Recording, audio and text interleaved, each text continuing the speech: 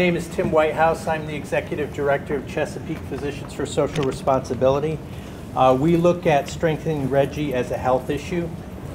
As an organization of doctors and other health professionals and health advocates, we strongly support the RGGI program. Our members and supporters see the adverse health consequences of air pollution from fossil fuel energy generation every day. In Maryland, for example, coal-fired power plants are one of the largest sources of both carbon dioxide and air pollutants.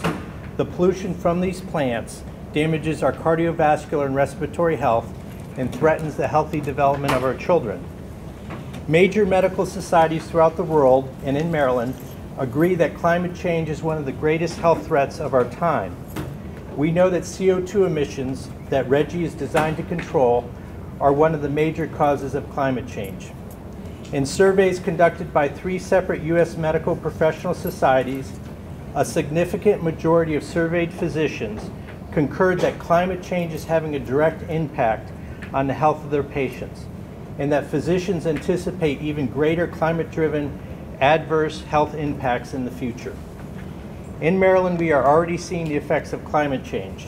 The last 15 months have been the hottest on record.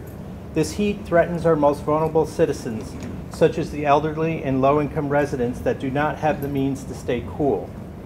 This problem is exacerbated in Baltimore, for example, by the urban heat island effect.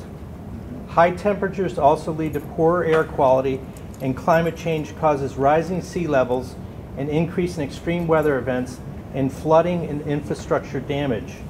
It also increases the spread of vector-borne diseases such as Lyme and Zika, and threatens our food systems. We see what's happening. We see it every day. We've seen it in Ellicott City.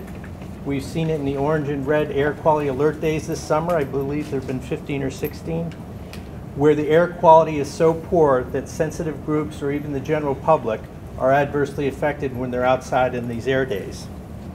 RGGI has been a success in reducing climate and air pollution and strengthening the economy of Maryland.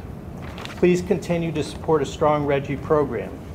Independent analysis shows that Maryland and other RGGI states can achieve the 5% annual reduction in greenhouse gases while creating tens of thousands of new clean energy jobs and strengthening our economy.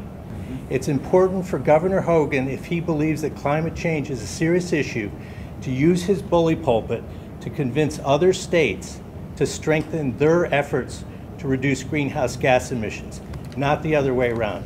Thank you.